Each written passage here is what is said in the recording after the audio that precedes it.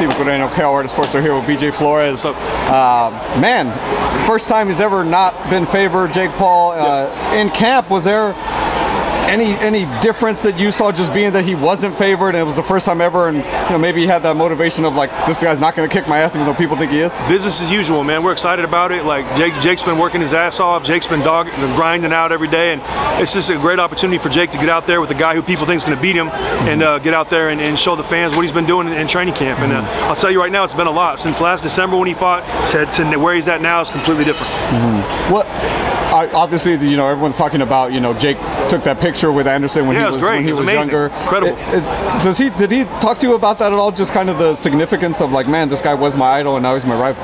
Yeah, I understand that. It's great. Like I think a lot of times where, where young up and coming fighters watch their idols take pictures with them, and then they get to the point where they could potentially fight and things like that. But look, I mean, Jake's a professional, Anderson's a professional.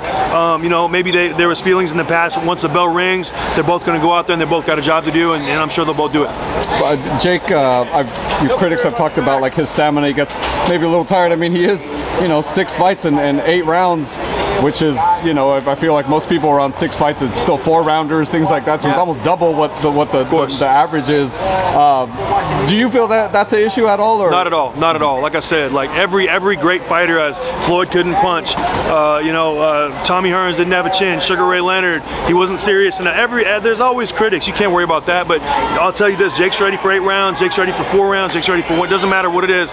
We just go one round at a time, but Jake's gonna be ready, and uh, I'm not worried about that at all. We've sparred eight, ten rounds in camp, rotating multiple guys in many times. So, how, how was uh, Chad Dawson in camp? Great, That's he's a excellent. Name, he's a champion. He's, he's he's a professional. He's excellent. Him, Rydell Booker, Richard Vansiclen, 14 0 up and coming prospect. Rydell Booker, 27 and six, another good prospect, or another good, uh, you know, like a, like an older fighter is also very good. Um, Robert Daniels Jr., 7 and 0, another good southpaw. We, we, I'm bringing all the best guys I can find because that's how I feel like Jake gets better. And uh, when, you, when you're in there with better guys and you're in there with guys who bring something to the table, Jake's got to take it serious. Every day we sparred was almost like a fight. So there's no easy work, there's no practice, like, oh, we're just going to go easy. There was none of that. The Kronk style sparring every time, and that's uh, that's that's what Jake was doing this whole camp. I like that Kronk style. I yeah, like man. that because everyone yes. knows that. Everyone knows yes. those, those, legends. Uh, just as a boxing fan, man, I'm, I'm sure you were disappointed like the rest of us. Spence Crawford is not happening this year. I'm not surprised. Why is that? I'm just not. I just I don't know. Like I hear all the back and forth and everything, but like look, let's let's the, the truth of the matter is Spence is the draw. Spence should get the more money. Spence is the bigger name. Spence had sold more pay-per-views. And, and and Terence Crawford, if he wants to fight, he should take take the recording the recording money, whatever it is. And I'm sure there's more to it than that. The rematch clause. Why why are you worried about all that? Just take the fight, bro. Like you haven't sold what Spence has sold. Spence has sold a lot more.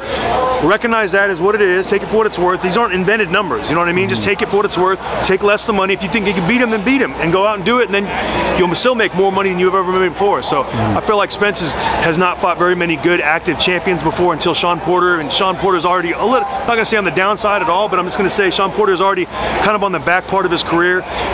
Terence Crawford fighting Shawn Porter five years ago, now that would have been a dog ass fight. Mm-hmm. But I'm saying like there's, I, I, still can't really recall any names on the Terence Crawford resume that make me think, oh man, he'd beat Errol Spence. Mm-hmm. So in your opinion, if you had to put blame on why it didn't happen, uh, you, you would kind of lean more towards Crawford. I'm not. I'm like? not. I'm not going to blame either one because I'm not part of the negotiations. I'm just going to say that if you look at the numbers of it and you look at what Spence has sold compared to what Crawford sold, it's not that hard to figure out. Like Spence should be paid more money, and you're trying to get, you know, whatever money you're trying to get parity with Errol Spence and then rematch. Bro, just, just recognize you're the B side. You can beat him, go beat him. Then go do it. Go beat him.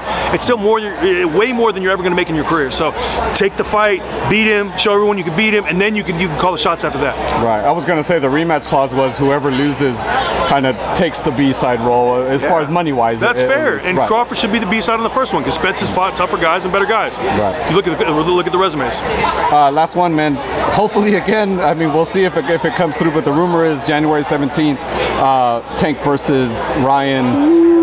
I love that. That's a great fight. And people are writing Ryan off, but he's a dangerous guy.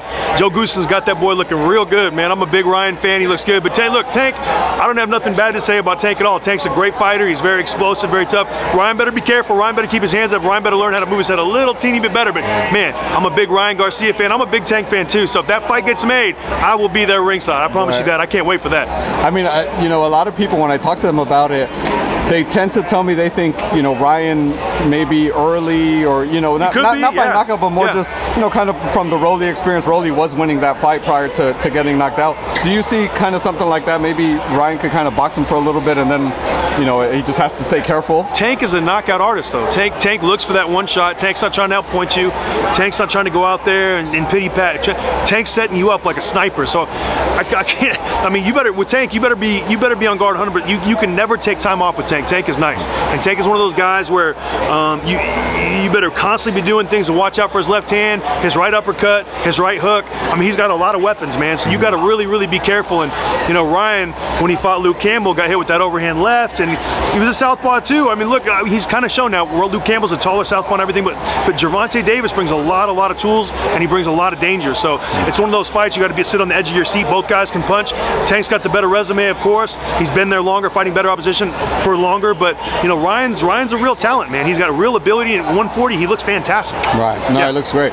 BJ, thank you so much for your time, brother. Tell the fans where they can follow you. Uh, on Instagram, BJ Flores Pro, and on Twitter, uh, BJ Flores Pro, I think too. Yeah. So I don't really use it that much, but yeah, I appreciate it. Yep. Best of luck, brother. Cool. Appreciate it. Thanks.